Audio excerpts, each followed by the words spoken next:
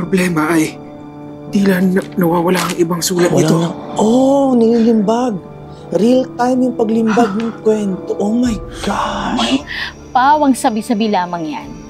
Sa mga alagad ng Diyos ka, makinig, at sa akin. Wala ka din sa unang libro.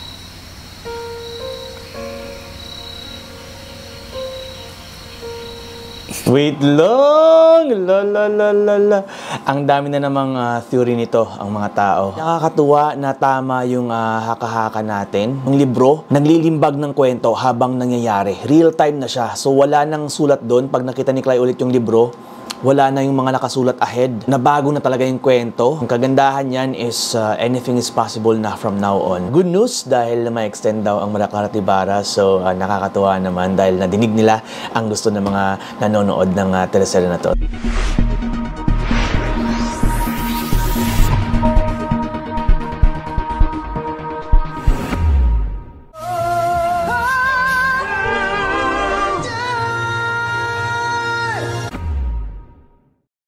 Pagbabago ang aking hangad. Ang paghihimagsik ng bayang ito. At iyan ba sa tingin mo ang kailangan mangyari upang maging matagumpay ang revolusyon sa ating bayan? Inuudyok ko lamang sila upang sila ay kumilos at lumaban.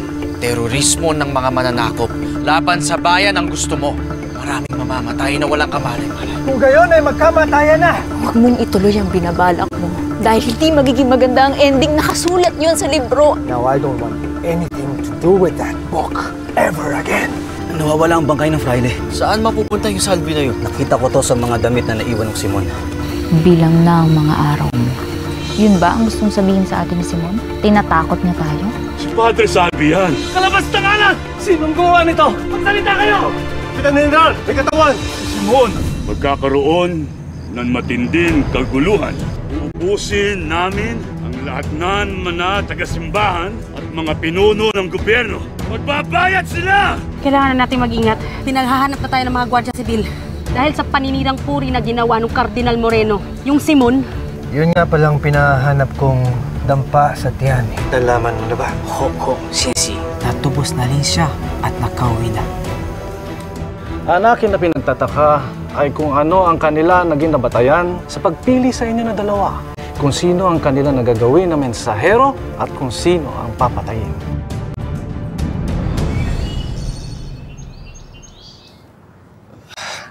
Tang, narinig niyo ba? Tila merong...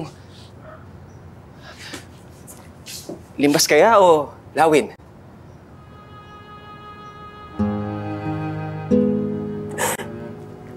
Tang, naririnig niyo ba ako? Kong batid ninyo na ako ang inyong anak. Na nagbalik. Tang, nagbalik na ako, Tang. Sana po'y madamayan ninyo ako.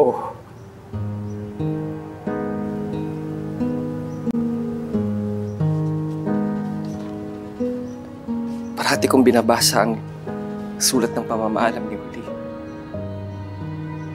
Eh, hindi ko alam kung paano siya mababawi sa hermana. At hindi ko rin alam kung paano mababawi ang lahat ng ating ari-arian. Pati ang natitira kong pamilya.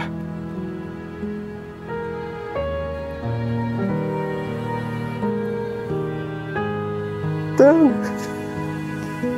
Tang.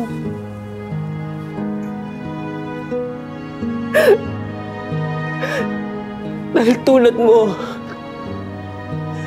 tila naging pipi ako. At naging baldado rin. Tang, inubos nila ako, Tang. Inubos nila tayong lahat.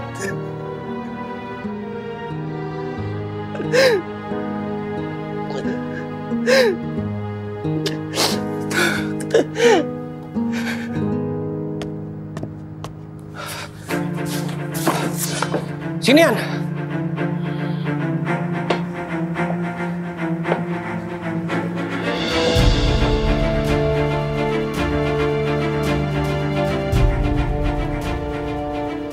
ba si Telesforo Juan de Dios?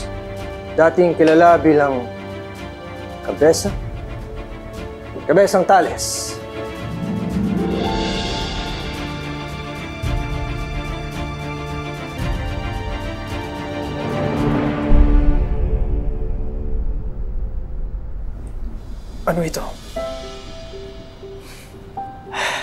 Nag-ambag-ambag kami na makaraig at iba pa nating mga kaibigan.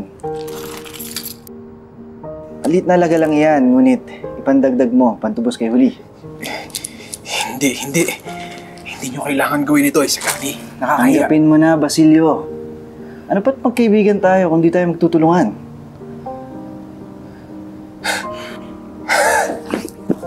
Maraming salamat, amigo. Napakalaking tulong nito. Basta't huwag mo pasasalamatan si Pelayas kapag nakita kayo. Kuripot yung mayaman na yun. Pangako, amigo. Kapag ka ako'y nakaipon muli, ako'y... Amigo, huwag mo nang alalahanin ang pambayad, ha? Ang mahalaga ay, matubos mo agad si Huli.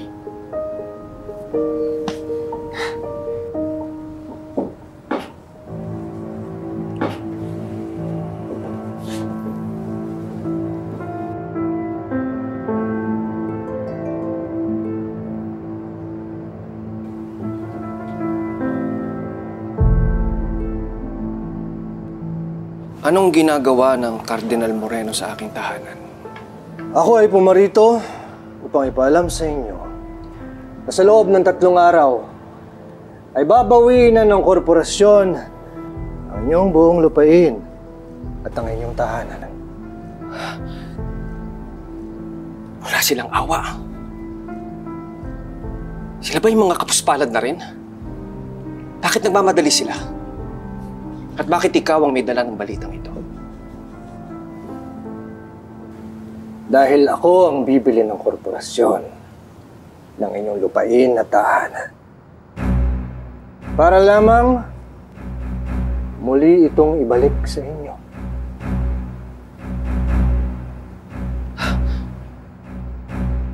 Tama bang sinabi ninyo, senyor? Na magbabayad kayo upang ibalik sa akin ang aking mga ari-arian? Siyang tunay, Kabesong Tales. Subalit, lahat ng kabutihang loob ay tinatanaw. At lahat naman ng kabutihan ay may kapalit. At sa palagay ko ay malaki ang may tutulong mo sa nais kong mangyaring pagbabago. Makakaasa ba ako sa iyong pagtugon sa aking mga ipagagawa, Kabesang Tales? Kapalit ng pananatili mo sa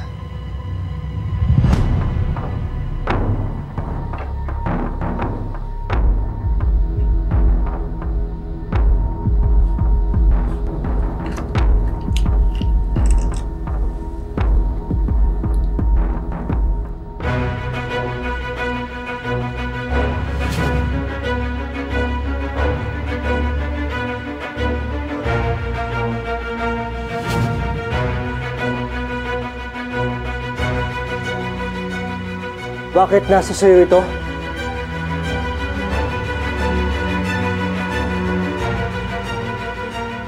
Bakit nasa iyo ang agnos ni Maria Clara?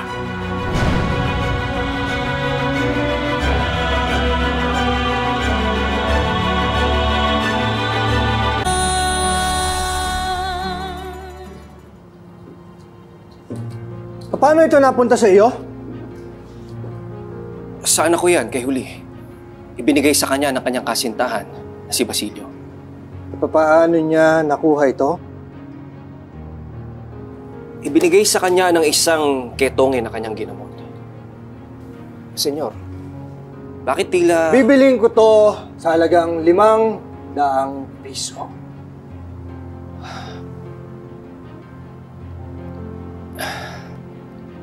Senyor, maraming salamat sa alok mo. Ngunit hindi ko maaaring ibenta. Dodoblehin ko ang bayad. Sabihin mo lamang kung magkano. Alahas. Kailangan mo ba ng alahas? Ibibigay ko sa iyo lahat ng nais mo. Kapalit lamang ng agnos na ito.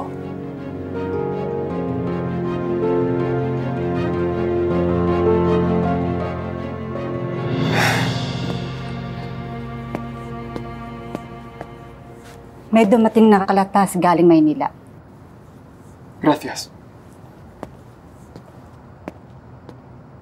Anong nilalaman?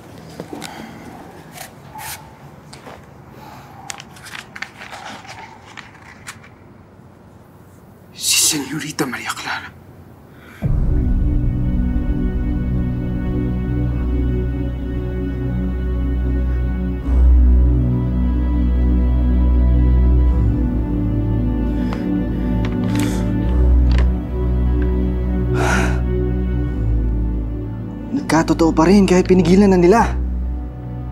Por Diyos mio. Ang ibig sabihin ba nito eh? Nagkakototoo rin ang mga nakatala. Basilio, buksan mo ang libro. Baka may nakatala na mangyayari tungkol sa atin.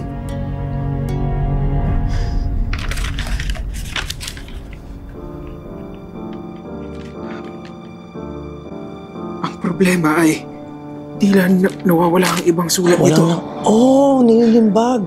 Real time yung paglimbag ng kwento. Oh my gosh. Mahiwagang libro. Siyang tunay.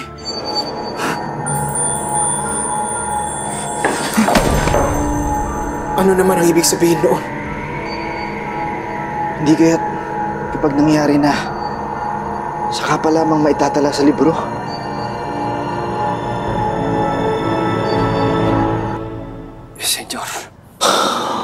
Maring benta. Goosebumps. Mahalaga ang agnos niyan sa aking anak. At higit na mahalaga ang aking pamilya, higit sa lahat.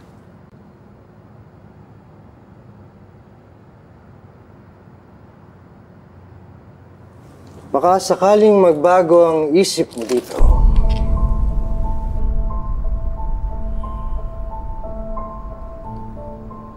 Malayo ang abot ng revolver na ito.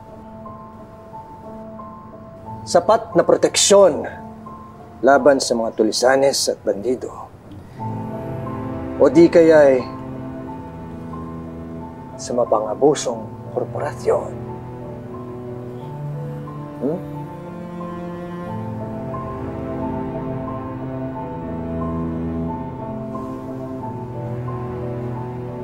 Kailangan lamang ng kakayahan na maging alisto. At talas ng paningin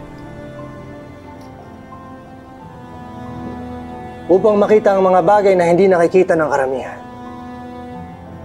Kayang patumbahin ng revolver na ito ang sino mang humadlang sa may hawak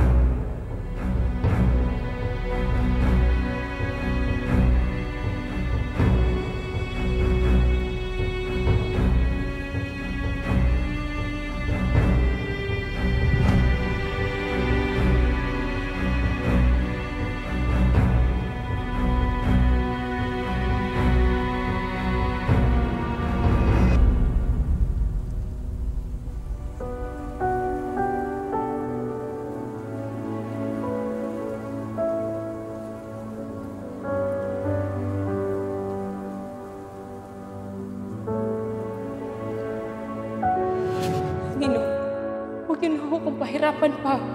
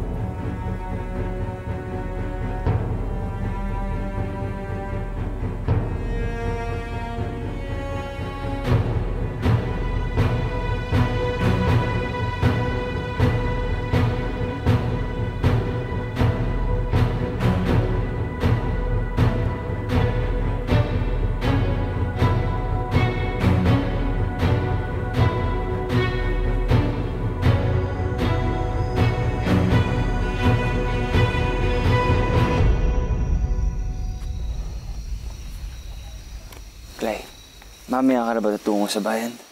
Fidel, samahan mo ko ha. Kailangan kong puntahan si Basilio. Kailangan kong mabawi sa kanya ang libro. Sa tingin mo ba ay matutulungan pa talaga tayo ng El Filibusterismo na libro na yan? Oo. At kung susundan natin ang kwento ng libro,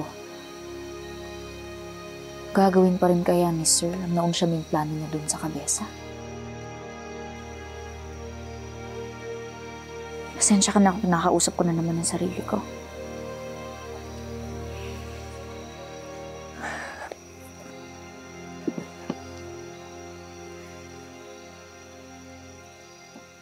Kaya nais kong malaman. Ano ang mangyayari sa akin sa kwento?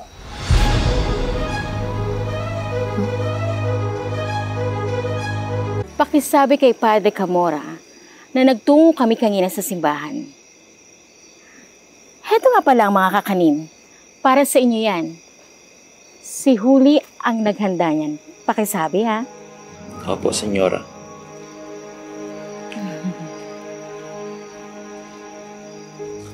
Senyora, hindi ba mas mainam na kayo na lamang ang magturo sa akin magdasal? Kaysa si Praile?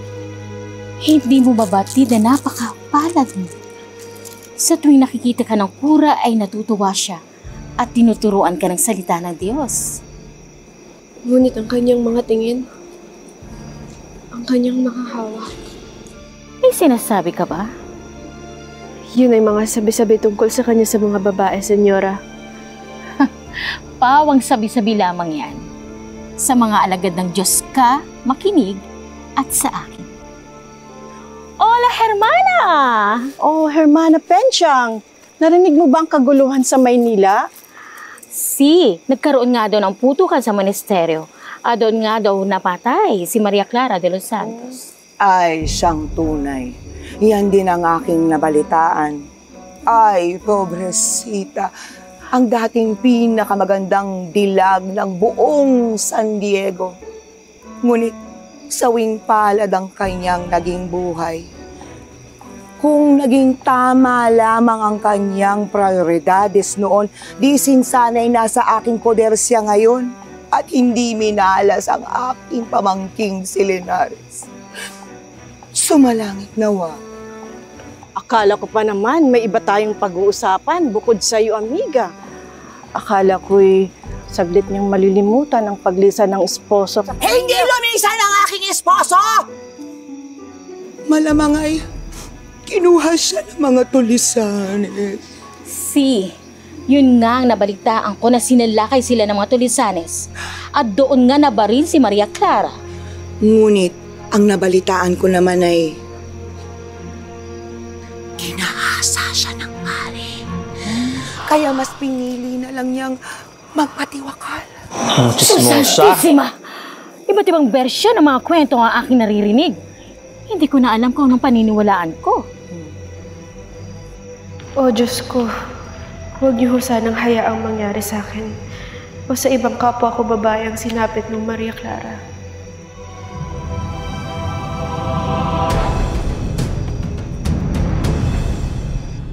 Sinilip namin ni Elias yung libro nung isang gabi. Bakit tila hindi ko nakita ang aking pangalan?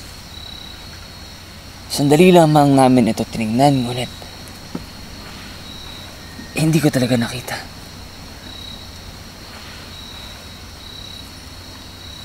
Yan din ang pinagtataka ko. Ibig sabihin ba nun ay para akong si Elias? Nasa unang libro lang lumabas. Pero nabago mo, kaya naririto kami ngayon sa pangalawang libro.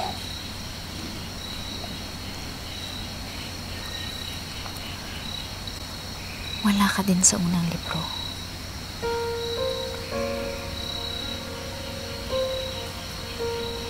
Wait lang! La la la la la. Ang dami na namang ah, theory nito ang mga tao. Um, isa doon sa mga narinig ko is ah, parang ginawa talaga siya bilang ah, parang tulong dyan, ah, tutulong kay Clyde dyan sa kwento or ah, yun nga, baka sila talaga yung magkakatuluyan sa ending. My goodness! Hindi ko maintindihan. Kung gayon, paano ako? Ano ang... Ano ang papel ko? Hindi ko rin alam, Fidel. Pilit kong hinanap ang Fidel nung binabasa ko na yung Loli. Nakailang control F na rin ako sa online versions ng Fidel, hindi ko talaga nahanap. Marami din akong tanong tulad mo. Sa totoo lang, meron naman akong theories kung sino ka talaga, kung saan ka galing. Pero hindi ako sigurado. Gusto mo bang ibahagi ko sa'yo? Para... Hindi na.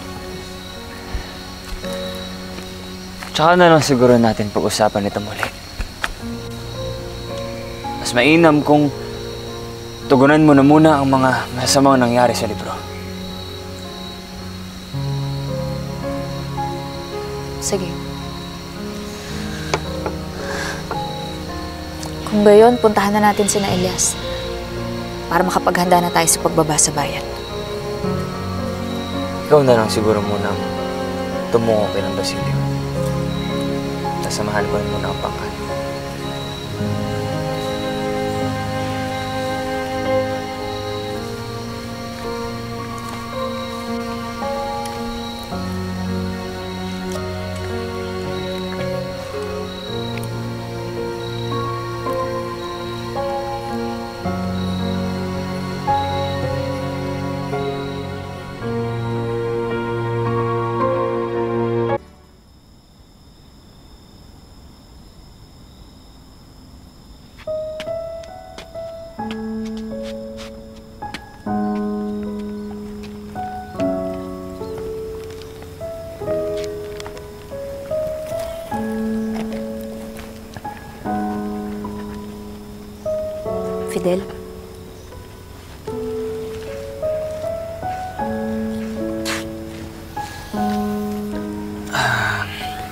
Hindi ba't ah,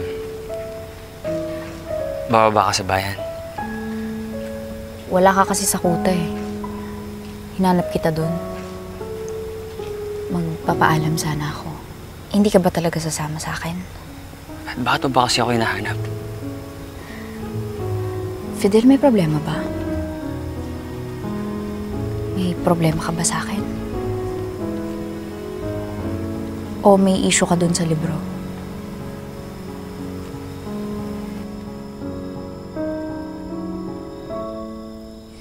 Gusto mo ipakita ko sa'yo yung mga theories ko sa karakter mo? Marami ako niyan. Sinave ko nga dito sa phone ko eh. Bubuksan ko kahit nagtitipid ako ng battery. Ano yun?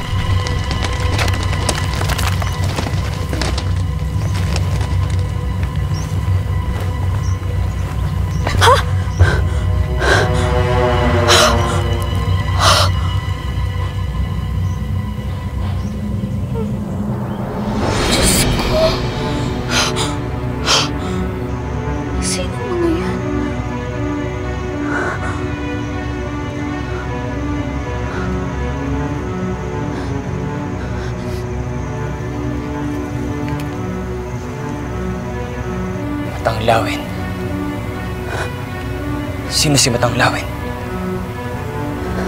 Umuusad na nga ang kwento. Nangyayari na ang nakasulat. Ibig sabihin, si Basilio. Tama ka, Fidel. Puntahan mo si Elias, ipaalam mo sa kanya to at ako kailangan kong puntahan si Basilio. Mag-ingat ka. Ikaw din.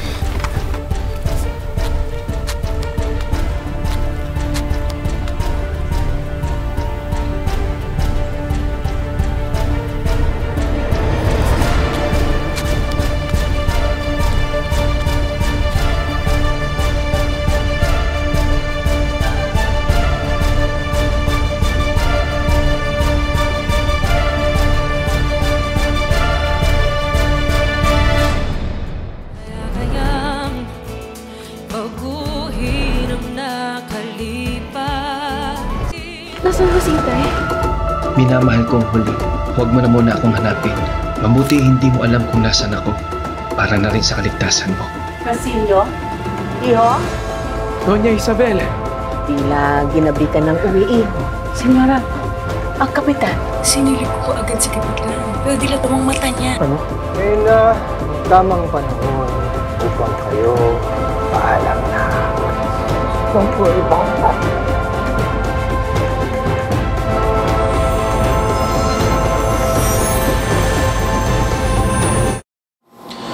So it seems to me na yung El Filibusterismo ay parang ah, maraming mga revenge ah, na moments doon ah, ni Ibarra or ni Simon specifically.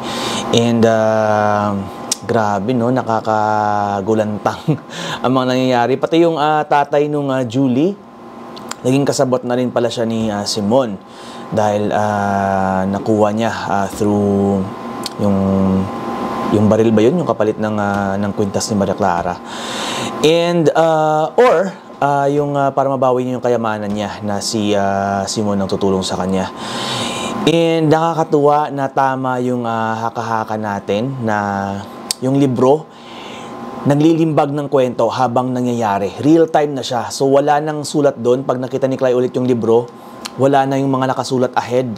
So nabago na talaga yung kwento. Ang kagandahan niyan is uh, anything is possible na from now on. So nakakatuwa.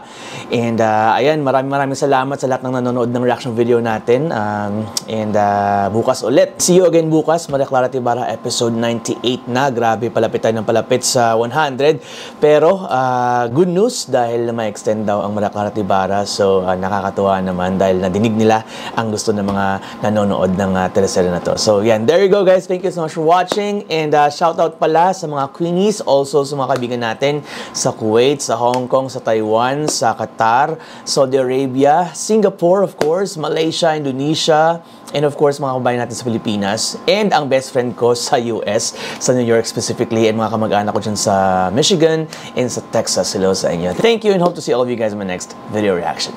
Bye!